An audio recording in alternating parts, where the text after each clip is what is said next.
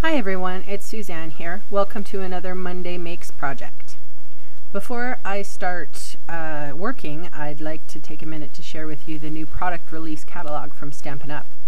This occasions catalog is jam-packed with some super fun stamps and papers and kits and items and crafty things. What's really awesome about this catalog is it comes with a little free stuff catalog. The smaller one there. Oh, and isn't that the cute? I'm using that stamp today for a card.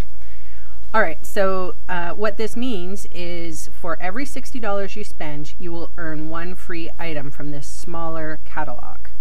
And the reason why I'm pointing this out today is because today's project is using blendability markers.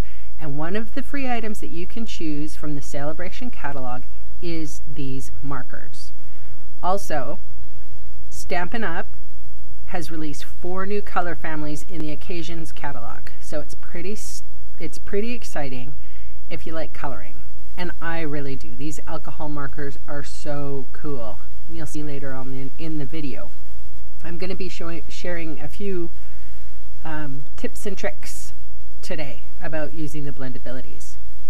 So you can see those are softer colors right now. Bermuda Bay, Pink Pirouette, Soft Sky, Wild Wasabi. So excited. If you don't have your catalog, get a hold of me and I'll send you up one. Okay, so first things first, I have to use Memento ink. It is an alcohol marker safe ink. So that means when I go over top with the alcohol markers, they won't, it, the line won't smudge or smear. It gives a great impression using the photopolymer stamps, these little clear ones that I'm using. So this is a water-based ink and just to note, any alcohol or oil-based ink will probably smear when you're using alcohol markers. Some inks, uh, classic ink pads from Stampin' Up! are also blendability marker friendly, and I'll list them in my blog for you. So my technique in using the blendabilities is I do a light wash to saturate the paper. And then I go in with the darkest marker and create the shadow. Then I use the medium marker to blend the dark, and then I use the light one to finish. And sometimes I'll go back a few times to get the color I want. Going over the color will not muddy or deepen the color at all. It just blends it better. Now some people like to go from dark to light. You need to find a style that suits you. Maybe you start with medium and put the dark shadows in or and the light. It's up to you. So there's 16 different color families with the Stampin' Up! markers, and they come three markers per pack, so you will always get a light, a medium, and dark. And they're all going to blend very nicely together. There's a six pack of uh, skin tone markers as well, and a colorless blender. So it's $15.95 for three markers. Okay, so tips I'm not really going to go over some of the color families that I'm using because I have a tendency to mix stuff up all the time so it's hard to keep track on video. So I'm just going to give you some tips and tricks of what I found with um, using the alcohol markers. So for blendabilities, blendabilities especially, what you need to do is have a piece of paper underneath your, your work, not a craft mat. I find that the markers are fairly juicy so it will soak through the back of your paper, but it'll also, if it's if you're working over a craft mat, you'll find that the ink doesn't have anywhere to go, so it will cause bleeding. So first and foremost, make sure that you have an absorbent, you know, piece of paper underneath. Um, so I, you can see here that I've got the caps left off my markers, and they tell you to, when you purchase them, that you have to cap it tightly so when I'm working with them for a quick change, I prefer having the marker lids off so that it's just very easy for me to switch from dark to medium light and I can do the blending and go back and forth. And I, I leave them out and as soon as I'm finished with them, of course, I'm going to cap them. So mentioning capping the marker, you'll notice that I leave the pen on a flat surface and I put the cap on by sort of sliding it. There's a little hole on the inside of the cap and it is possible to jam, if you're not careful, to, to jam that point into the lid. And the unfortunate part about this is that the tips are not replaceable. So you do have to sort of have really good aim. The thing with these markers is they, they do cap very tightly. So you need a little bit of elbow grease to pull them apart and put them back on again. So you just don't want to avoid any damage. They're $15.95 and when you can't just go and replace one, you have to replace all three. So it's a good idea just to be cautious and careful. I just like to, every time I'm looking at this image, I just, I want to laugh. These characters are so kooky. I love them. I, I think that's a bison. It might be a buffalo. I'm not 100% sure. I want, almost want to say it's a yak, but not, not quite sure. Anyway, you're, you're seeing how the, um, the browns, I think I'm using some from uh, the light one from the crumb cake and then maybe the skin tone colors, the browns. I just find, well, I wanted some definition and I definitely wanted to, um, you know, have a some decent shadowing on the little bison guy. Okay, so you can see that I have a little drawing on my piece of paper. It says light source and it's like pretend sunshine. So this helps me to know where to place the shadows. Sometimes when you're doing a flower or something, it's going to be very organic and you're going to know exactly where the shadows and the will start and finish. Sometimes on a, a critters like these, it's a little bit harder, so you have to sort of create your own. So by putting that light source up top, I'm able to um, notice what side the sunshine is actually going to be hitting them. So obviously on the right hand side of the little llama here, he's going to be the lightest, but on the left hand side of him, he's going to have some shadow because the sun is not hitting there. And oh my goodness, look at the llama's face. I went online and looked, and a lot of llamas like that, they have that face. I'm just saying the artist was pretty good at capturing this little creature. I just want to laugh. I was so excited when I got this uh, stamp set. okay, so the blendability markers, they do more than just coloring. Uh, well, not really, but they color other things other than paper, let's say. They're a permanent marker. So if you wanted to, say, color your rhinestones or your embellishments to a different color, you totally can. You'll see an example of this on last week's um, Wonderwork Wednesday when I actually took a star and I colored it with a, a silver star and I colored it with a pink um, blendability marker. So, and it's permanent. It will stay there. It will not rub off. The, which is sometimes a good thing and sometimes a bad thing. because if you get on your desk, you're, you know, you're going to be a little upset. One trick I have noticed is if you do get it on your desk, you can take an alcohol wipe, like a medical alcohol wipe, and um, give it a scrub and it, and it will um, remove. So that's a good thing. So the colorless blender, this is the white capped marker that um, comes separately and it, they, they say, you know, that it's a blender. It's not a blender at all. What it is is a highlighter, and I'm using it right here on the little goat's forehead.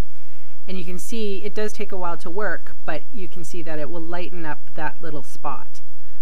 So basically the colorless blender is like a, a bleach, but it doesn't completely whiten anything. Oh, I'm using my phone to take a look at what the, uh, the, the Google suggests a goat should look like. Lots of them are brown. I ended up going with gray with and adding a touch of warmth in them. But anyway, okay, back to the colorless blender. So it creates highlights and textures by if you're going to, you know, put put a wash of color on and then want to lighten it, obviously it's going to give you a highlighted effect. If you say dot it on say a brown teddy bear image, you're going to create like a a little bit of texture, a dotty texture, which would kind of give you a curly, fuzzy look from for a teddy bear.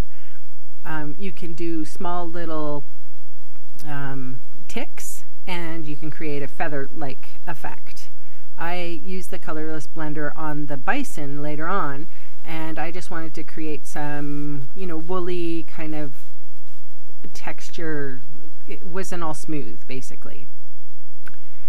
So it also fixes bleeds. So if you go over the line, you can rub the colorless blender over your whoopsie and it seems to sort of push the color back in to the unwanted color back into where it's supposed to go.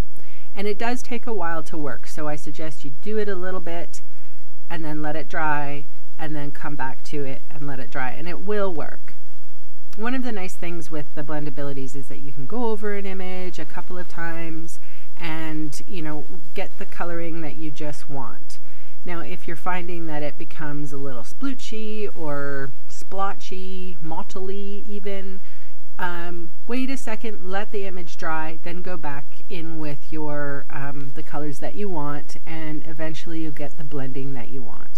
It does a bit of practice. This is not my first rodeo here. I have done um, some blendability um, work before. I use different kinds of alcohol markers.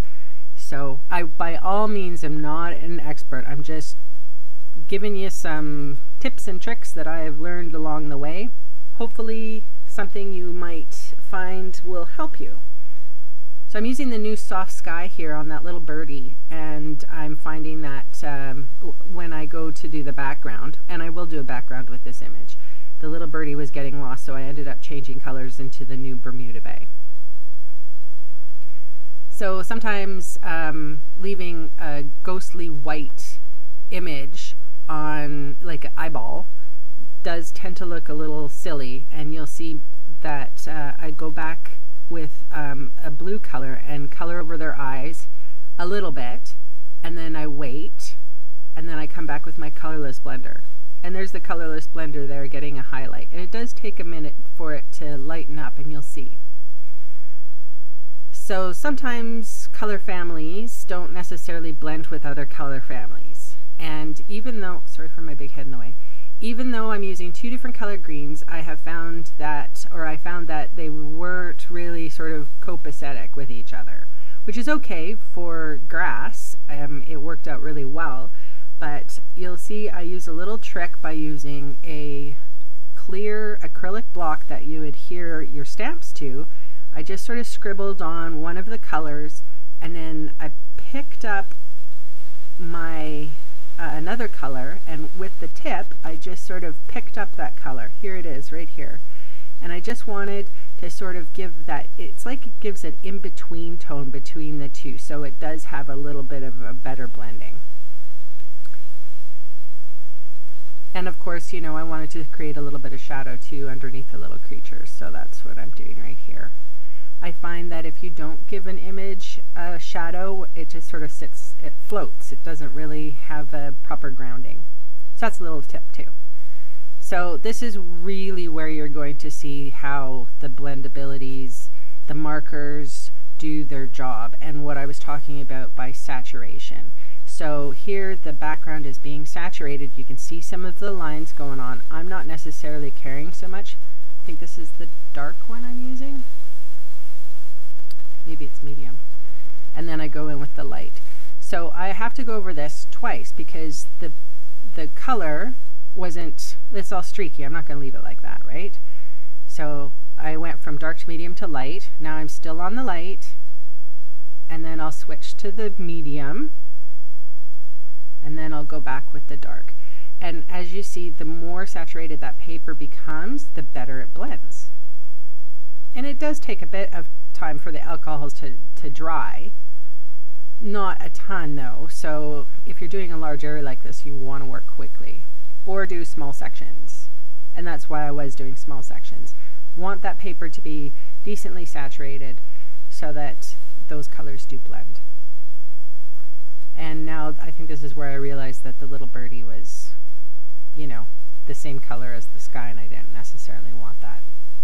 And one of the little tips too, if I got, you know, a color on say the llama's ears, I can go over if I got blue color on the, or the sky color on the llama's ears, I could go in with the color that I used to color the llama and go over his ears again and that particular color will push that blue out. So that's a little tip or trick. If you go over the lines a little bit, don't worry, it's not the end of the world.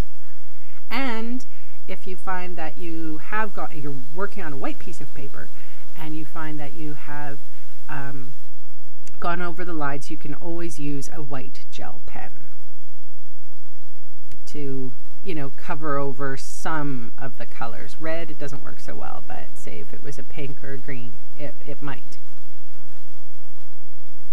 So here's the card. Pretty much today it's almost finished.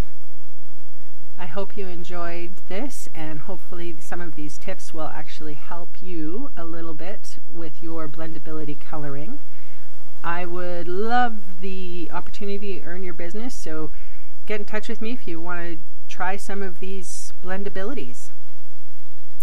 Until next time, I'd like to say